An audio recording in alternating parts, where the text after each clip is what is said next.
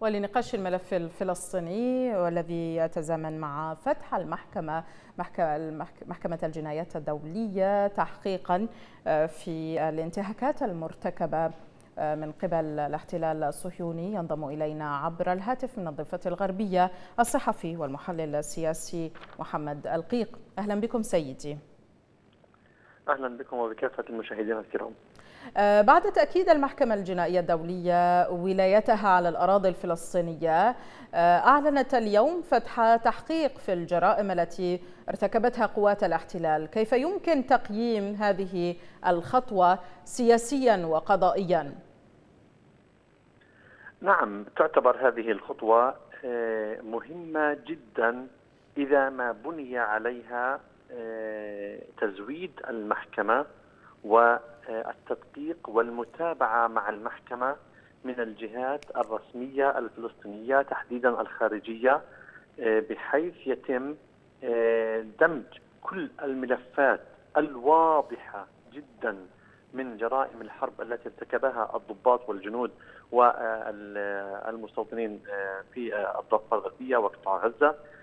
هذا يحتاج إلى عمل مهم ودقيق وسريع حتى لا يغلق ملف في داخل المحكمة الجنائية تحت إطار أنه لا يوجد جريمة نعم. طالما أننا حصلنا على هذه الفرصة فالواجب والمهم والأولوية أن يتم تغذية الملفات والتدعيم الحقيقي والصادق والدقيق لكل ملف حتى يكون لدينا مصداقية ويكون لدينا رافعة حقيقية لمنع أي تدخل دولي لوقف هذه المحكمة من خلال الملفات الواضحة سواء بانتهاك حقوق الأطفال أو ارتكاب الجرائم أثناء الحرب كما حدث في غزة أو حتى ما يحدث في الضفة الغربية من اقتحام وقتل وتشريد واعتقال. أه، سيد محمد ما هي ردود الفعل المتوقعة من أه، الاحتلال أه، حيال قرار فتح التحقيق في الجرائم التي ارتكبها ضد الفلسطينيين؟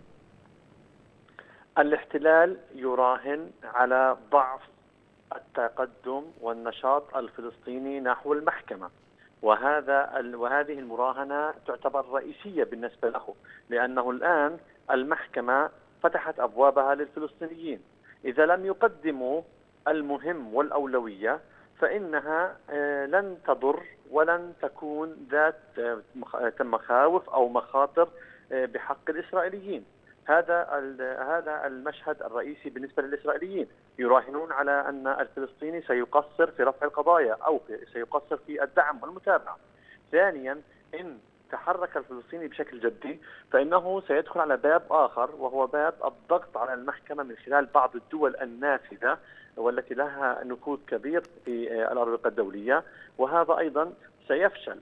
الذي يفشل هذه المحاولات هو بالفعل آه، وضوح المحكمة ووضوح الفلسطيني في آه، أن يهتم وأن يستثمر هذا الباب الرئيسي الذي طالما تمناه الشعب الفلسطيني أن يقوم العالم بمحاكمة الجزار وأن يقوم العالم بمحاكمة هذا الجلاد الذي يجلد الفلسطيني كل يوم.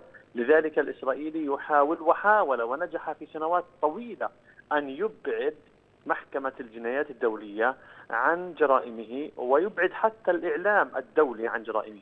ولكنه الآن وقع في زاوية ليست سهلة وهذا يحتاج إلى إسناد حقيقي من الخارجية الفلسطينية بدعم الدول الصديقة والدول التي تهتم بحقوق الإنسان وتهتم تطبيق قرارات الشرعية الدولية وإذا ما ذهبنا إلى قرارات الشرعية الدولية والتي ستكون جزء مهم في المحاكمة في هذه المحكمة فإن القرارات الدولية تفيد بأن أراضي 67 هي محتلة من الإسرائيليين وهي أراضي نعم. فلسطينية على أقل تقدير وهذا سيدعم الملف وسيعطي أيضا إشارة لدول نافذة الآن أن تدعم الفلسطينيين كما تركيا باكستان وماليزيا وقطر والدول العربية بالإضافة إلى آه، روسيا وبعض الدول. هذا يفيد إلى مزيد من القوة للفلسطينيين إذا ما استثمرت جيدا. الاحتلال قام بتهديد السلطة الفلسطينية في حال تعاونها مع المحكمة الجنائية الدولية في عملية التحقيق ما الأوراق التي تملكها السلطة لمواجهة مثل هذه التهديدات؟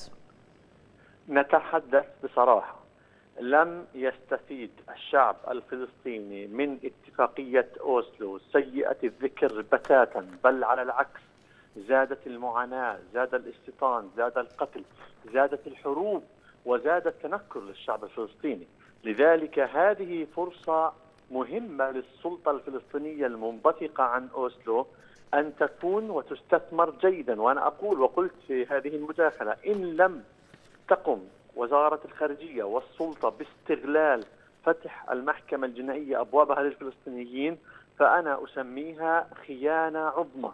لأن هذا يعني أن الاحتلال الإسرائيلي لديه الورقة الرئيسية وهي أن أن الضحية لا تريد أن تشتكي ولا تريد أن تقوي حجتها آه، وهذا آه، ما يفعله الإسرائيلي ويضغط باتجاهه.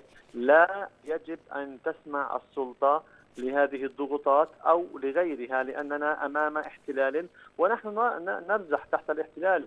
في شهريا يسجل عشر شهداء نعم. تقريبا ويسجل ما يقارب 400 معتقل ويسجل هدم من 15 إلى 20 منزل شهريا في الضفة الغربية والقدس المحتلة. شكرا جزيلا لك الصحفي والمحلل السياسي محمد دلقيق حدثتنا عبر الهاتف من الضفة الغربية المحتلة والمعذرة على المقاطعة لضيق الوقت.